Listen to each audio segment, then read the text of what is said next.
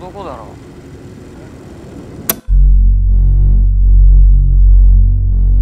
There's an argument to be made that Cure by Kiyoshi Kurosawa is the greatest movie ever made. When we think of the word cure, at least in a medical context, a symbol that is synonymous to healing one's ailments and health crises is the medical cross. And in a spiritual context, if you extend a limb of this cross, you get the Christian cross, a symbol of religion which provokes images of a more existential cure to human suffering. We all know that these pillars of society form the center of its operating mechanism, but Kiyoshi Kurosawa's society in Cure seems to be secretly governed by a different cross altogether. The cynical tilt of this film towards crime and destruction gives rise to a creepy world of occultist cures, as if the film is peering into the mind of a wild monkey. In Cure, Kiyoshi Kurosawa's camera is marked by an iconic shift away from the center, away from our protagonist onto miscellaneous elements of modern Japan that appear empty.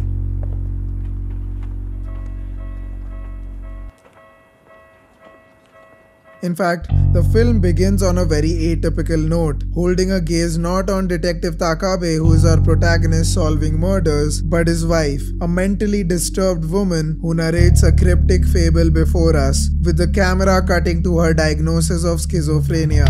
On the surface, Cure is about a detective and a psychiatrist decrypting puzzling murders happening in the city. The twist is that all the murders were committed by a hypnotist who claims to have lost his memory. Eventually, Detective Takabe discovers the hypnotist's origins as a psychology student obsessed with mesmerism and animal magnetism. But by the end, we realize that while Takabe was hunting Mamiya, it was actually Mamiya who preyed on Takabe's mind all along, turning this murder mystery into an unlikely art house tragedy with surprising psychological depth. This is how elements of this world contradict themselves in subtle ways, giving us this bizarre feeling that the film is alive in more ways than one. While most film analysts on the internet assume that these elements are literal, in this series I seek to adopt an alternative approach that changes the stakes of the film completely.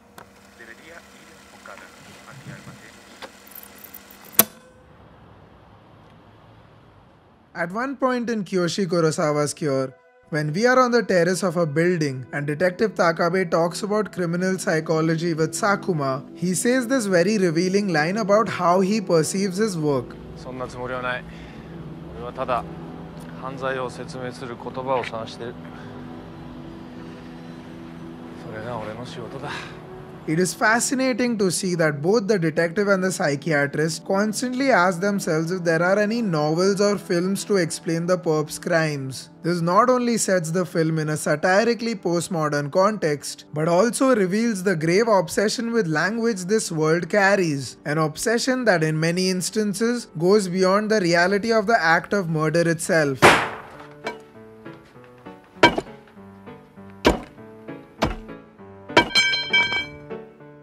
It is no wonder that the film dehumanizes the opening crime scene by adding ironic music to it, but becomes very real and intense when the detective has a conversation with Mamiya inside his cell.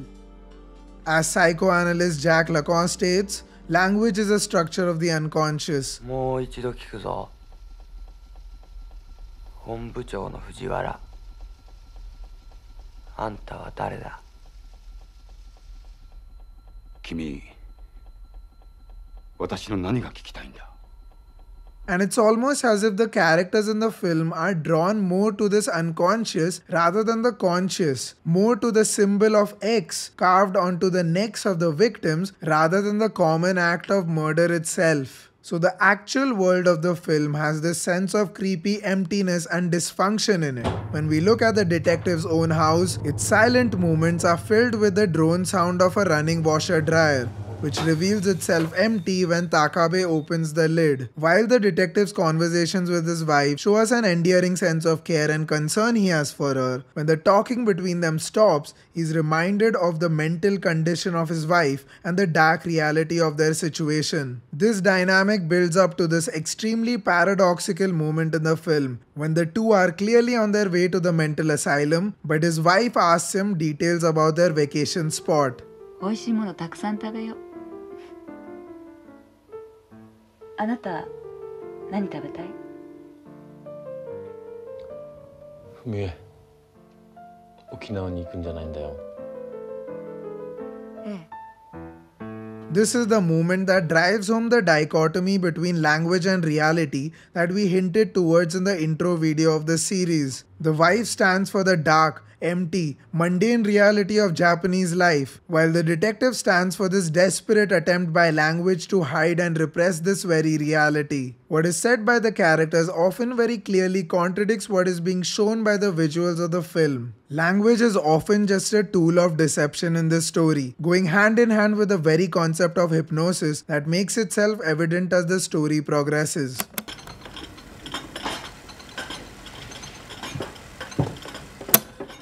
本はもう結構です。何か他の話をしましょうか。すみません。大丈夫ですか？はい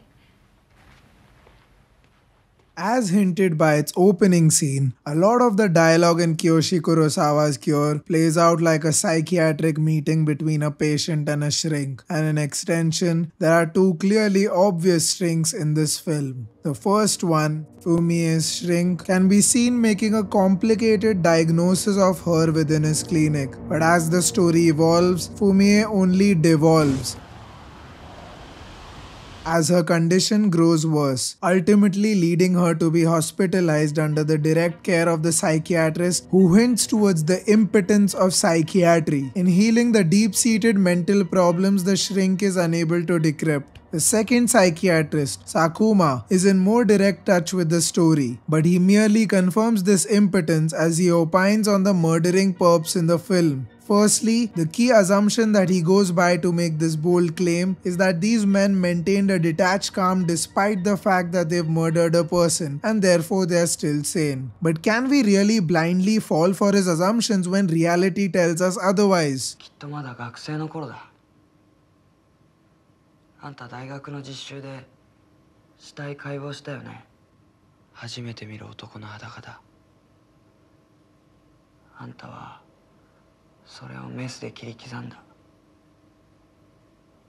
と胸がスーッとしたんじゃない In an exchange that Mamiya has with Dr. Akiko, he reveals that the doctor herself had repressed feelings and a desire to kill men, and so Mamiya merely nudges the doctor to express these feelings in destructive あ ways.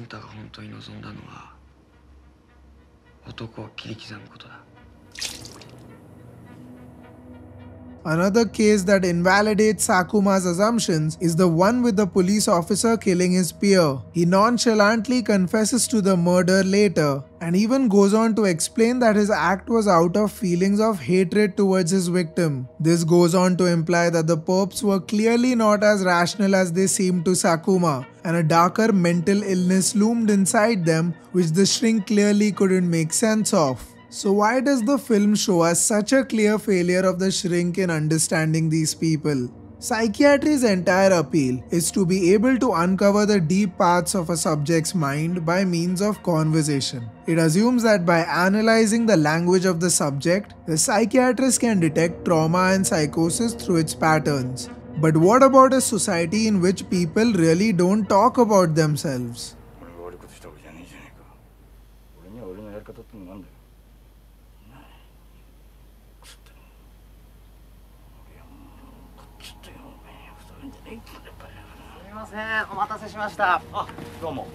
Even when asked who are you, they tend to only define themselves strictly by their social status. While in language they might appear perfectly rational, in reality they turn out to be just the opposite.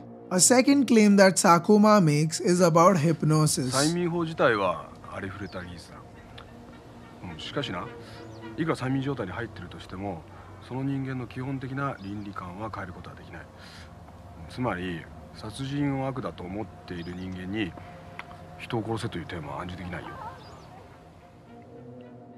Thanks to his confidence about the sanity of the perps, Sakuma assumes that these people have an intact sense of morality which should rule out hypnosis. Thanks to placing so much weight on kindness and social conduct, the culture of Japan at times has an overwhelming sense of confidence in their general sense of morality. When they look at their doctors, or policemen, or even detectives, Trust in them is taken for granted. But the monkey mind itself betrays these assumptions when all these so called pillars of society reveal their hidden feelings. While Sakuma relies so heavily on the external sanitized persona of Japanese people to make the case for their sanity, the film's dichotomy between the empty internal and shallow external directly contradicts his words. Cure shows us a world where psychiatry, the center of what is considered to be the healing process of a person's mental health, loses its potency in a paradoxical society. To me, this is why Kiyoshi's camera shifts to the periphery, to the flashing signs and symbols of the environment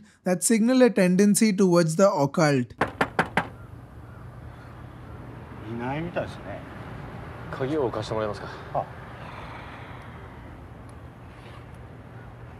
間宮さんなんか事件に関わってるんですかそれを調べるために中見たいんですああなるほどじゃああとよろしく In Kiyoshi Kurosawa's Cure, when Takabe locates Mamiya's house, he discovers several books lying around, including those by Carl Gustav Jung. When reading the film, it seems to me that most people focus more on Mesmer, just because Takabe and Sakuma take that up to understand Mamiya later. But it is Jung that to me bears a deeper resemblance to the world that Kurosawa has built. Jung was a psychoanalyst known for constructing an independent map of the human mind based on dream analysis and religious mythology, while his contemporary Freud formed a more scientific center of psychoanalysis. Carl had a sharply different path, especially towards the latter stages of his career. Instead of treading the conventional path of psychotherapy, Jung got fascinated by the rabbit hole of the occult, an investigation that ultimately led him down an obsessive path into man's darkest symbols and rituals, seemingly perishing with his demise. In some sad ways, to me this reflects Takabe's own pursuits, who is consistently warned by the conventional psychiatrist not to pursue Mamiya, a path that leads him into the greatest darkness within.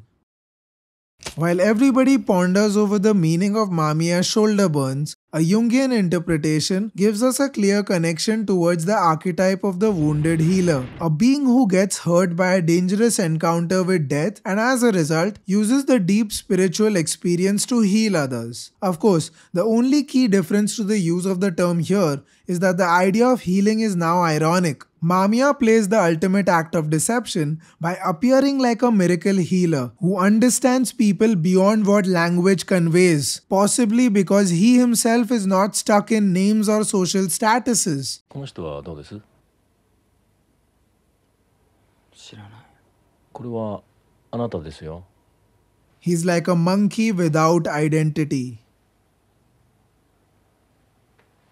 似てるこれで一つ確かなことが分かりましたそれはあなたですいいですね知らない男だ In these ways, he's a polar opposite of Takabe. He identifies strictly with the burden of the shadow the Japanese people carry within themselves. So, where Sakuma's psychoanalysis of the perps fails, Mamiya's silent hypnosis seems to have a strong influence in the murders. In the first case, where Mamiya appears to be an amnesiac with no sense of identity, he is taken by a stranger, Toru, to his house, who asks him questions about who he is. Deflecting these questions, Mamiya plays out a seemingly random set of acts involving dropping oranges to the ground, turning the light off, and redirecting questions about his identity back to the other person, finally flashing his lighter to hypnotize him. In the second case, Mamiya is taken into custody by two inspectors, one of whom he is able to trick by simply flashing this lighter again and convincing the man into killing his peer. In the next case, Mamiya adopts a different technique altogether with the doctor. of showing water falling instead of fire rising from a lighter. But when the groundwork is laid, when Mamiya makes her confess her dark feelings about men, the hypnotic suggestion successfully kicks in. The word confession is key here because it seems to me that Mamiya often takes the place of not only the psychiatrist but also the priest who makes himself willing to hear these people talk about their dark feelings, something that a shrink or a priest is clearly unable to tap into. And if I try to interpret a pattern in these cases, because the police officer more consciously hated his peer, Mamiya didn't have to work too hard to hypnotize him. Even the detective's flashing cues seemed to have an effect on his vulnerable mind. On the other hand, Toru Hanaoka bore a much deeper resentment towards his wife, probably deeper than his own understanding of himself, and so it took much longer for Mamiya to trap him.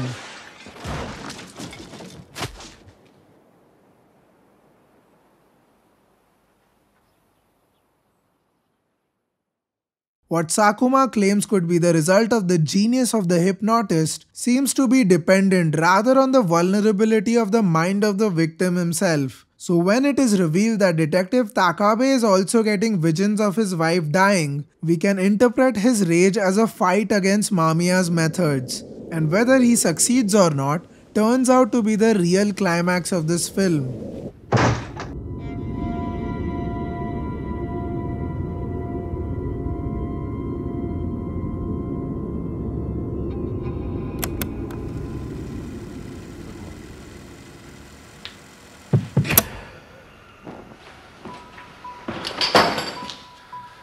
あそうだよ。女房は俺の重荷だ。お前に言われなくても分かってんだよそんなことは。俺にはあいつの心は分からない。あいつも俺のこの苦しみは分からない。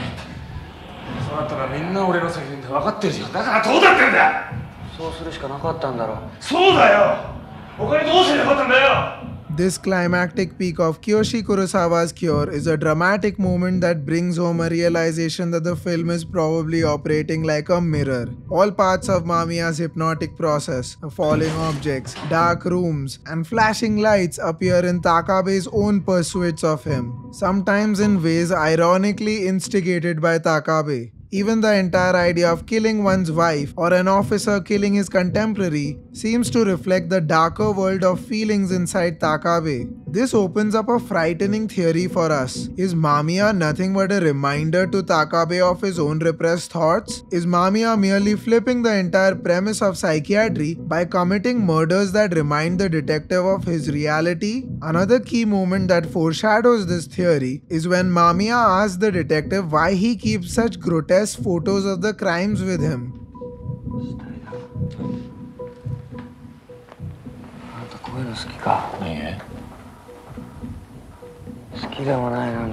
As if trying to imply that the detective likes to keep such photos, and his unconscious mind is attracted to this destruction. Although Takabe at first appears to be this polar opposite to Mamiya, at the same time, the camera hints in subtle ways towards what Carl Jung calls the union of opposites. To me, this very idea makes the film transcend even the pop culture dynamic of a Batman and a Joker. In hindsight, I find it fascinating that their quotes were eerily similar to each other, and there really seems to be a transference that slowly and steadily takes place between the two. In a key scene of the two characters that follows this one, we cut to an over the shoulder shot that unites the two together, giving us a feeling that deep down, they're finally meeting on the same page. Eventually, Mamiya even reveals that Takabe is the person responsible to free him from his cell. This goes on until we see a key moment where Takabe seems to take the place of Mamiya, and that too in Sakuma's mind. Although the psychiatrist verbally says that it is Mamiya who is carrying out the ritual of mesmer, in his head, we get to see a different culprit altogether, who seems to pursue him and drive Sakuma to suicide. So, is it possible that in a psychoanalytic search for words to explain the crimes, Takabe realizes that he is turning into a Mamiya himself? In the dichotomy between language and reality, it's as if Takabe's language dies in the film and Mamiya's hypnotic silence strengthens as time passes. Thanks to this slow, psychological defeat in Takabe, the repressed thoughts about his wife only increase in his mind. Once again, the periphery comes to haunt a man who is trying to solve crimes, making Takabe forget his persona so that he starts accepting Mamiya slowly and steadily. Therefore, my reading of the final scene is very interpretive. In the asylum, Takabe realizes that he has revealed himself to be so much like Mamiya that Mamiya is not needed anymore. He has given in to the idea of becoming a vessel for a killing rampage that can now even go beyond hypnotic suggestion. The effortlessness with which his interaction with the waitress nudges her to pick up a knife in the final shot of the film opens up the idea that society as a whole is now ready to act on its repressed desires. The X has possessed the spirit and probably even replaced religion now, as if the murderous act becomes the act of confession. Speaking of knives, I made another essay on Kiyoshi Kurosawa's Chime, where a chef's knife turns into a murder weapon within yet another one of his cryptic horrors. So check it out now.